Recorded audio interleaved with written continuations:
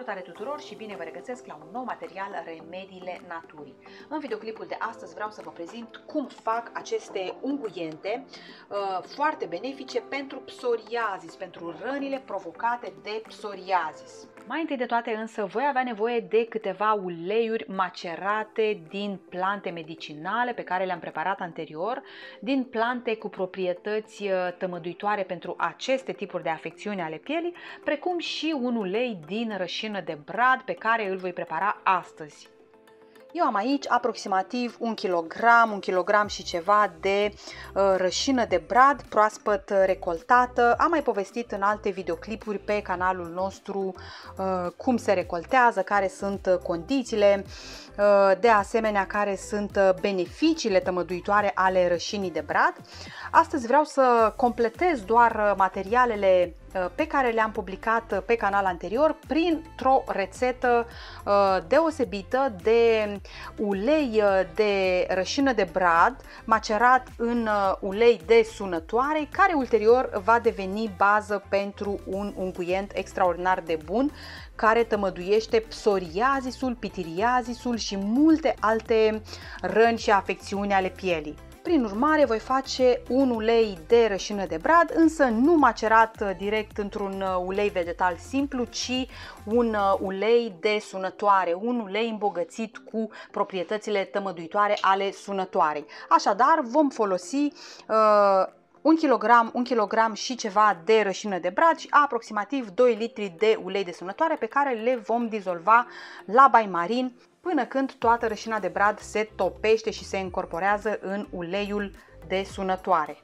Eu voi pune toată rășina de brad într-un uh, săculeț de tifon pe care l-am cusut în prealabil, deoarece în urma procesului de topire al rășinii în uleiul de bază vor rămâne reziduri care de regulă se lipesc și se curăță foarte greu de pe vasul în care se prepară uleiul.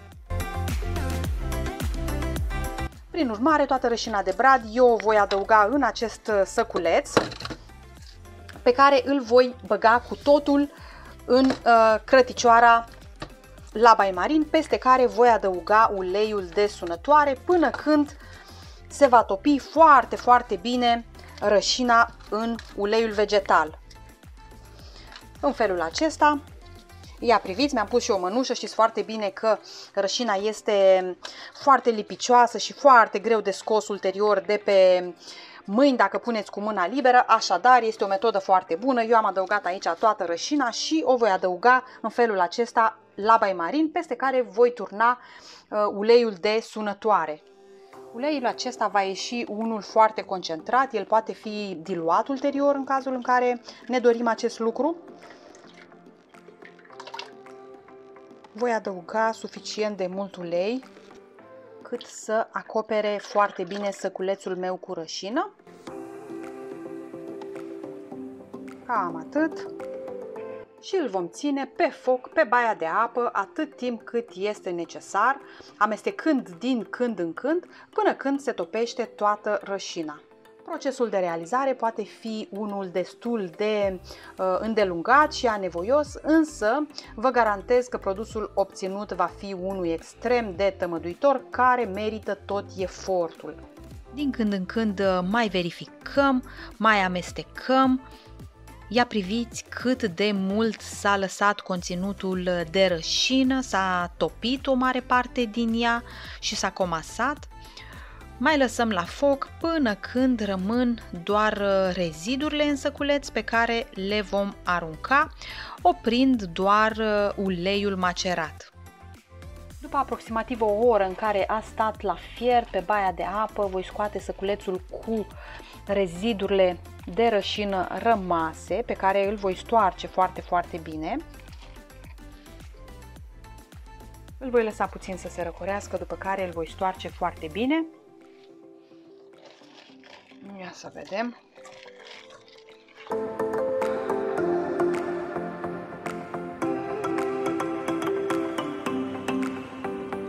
Acesta este uleiul de rășină pe care l-am obținut. Ia priviți ce culoare frumoasă are, iar de mirosit nu vă mai spun cât de frumos și cât de puternic miroase a rășină de brad. Este un uh, ulei extrem de tămăduitor pentru foarte multe afecțiuni ale pielii pe care îl voi folosi în diverse formule de unguiente însă în mod special în unguientul pentru psoriazis, în combinație cu alte uleiuri extrem de benefice în acest tip de afecțiune, precum uleiul de pătlagină, de mușețel, de gălbenele sau de rostopască. Împreună cu propolis voi face un ir extrem, extrem de tămăduitor, cum numai din ingrediente naturale putem obține. Pentru prepararea unguientului voi folosi 100 de mililitri de ulei uh, cu rășină preparat anterior. Uh, voi mai adăuga de asemenea 100 de mililitri de ulei de pătlagină extraordinar de bun pentru răni, pentru cicatrici, pentru tot uh, felul de exeme ale pielii. De asemenea vom pune 200, aproximativ 200 de mililitri de ulei macerat de rostopască. Știți că rostopasca este o plantă extraordinar de bună pentru psoriazis, atât în uzul intern cât și extern și vom mai folosi 200 de mililitri de ulei, uh, am eu aici, ulei combinat de gălbenele cu mușețel. De asemenea, pe lângă aceste amestecuri de uleiuri, voi mai incorpora în compoziție și aproximativ 70 de grame de ceară. Eu am aici niște ceară naturală, direct din stup, luată de la producătorii apicoli, este deosebit de bună și o folosesc în toate unguientele pe care le prepar. Uh, și voi mai adăuga și două linguri mari de lanolină, lanolina fiind uh, un produs extraordinar de benefic pentru piele care favorizează absorpția celorlalte ingrediente, de asemenea și o cantitate de tinctură de propolis. Toate aceste ingrediente le voi pune pe baia de apă și le voi incorpora până când se omogenizează și se amestecă integral. În același recipient în care am făcut uleiul de rășină puțin mai devreme, voi turna toate uleiurile și cel de rostopască, uleiul de mușețel și gălbenele, iar la final uleiul de pătlagină.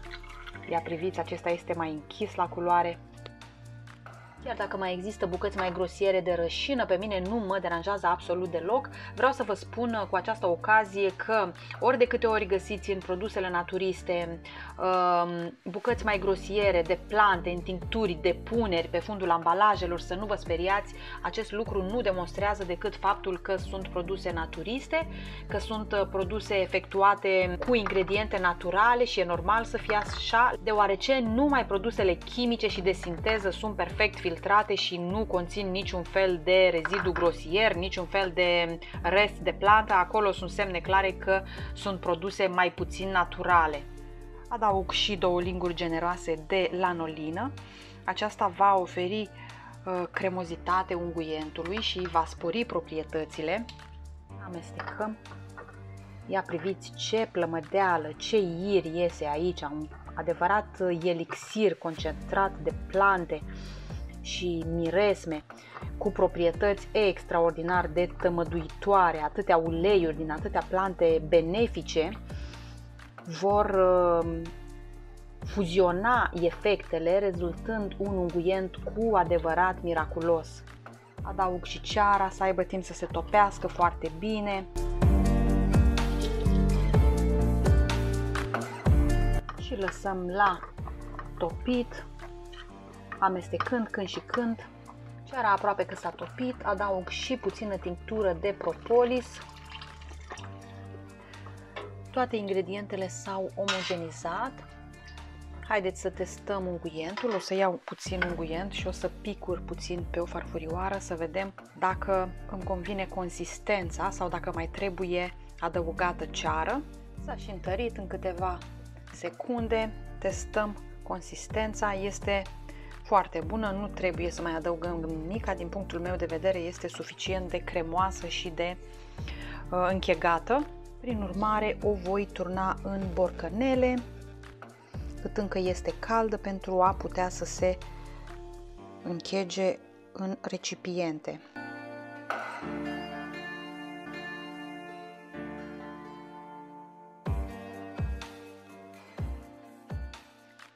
Am terminat de turnat și le voi lăsa să se răcească. După cum vedeți, ele deja încep să se întărească. Cel mult o oră vor fi gata închegate. Unguientele deja s-au întărit, ia priviți cât de frumos arată, dar mai ales cât de tămăduitoare sunt.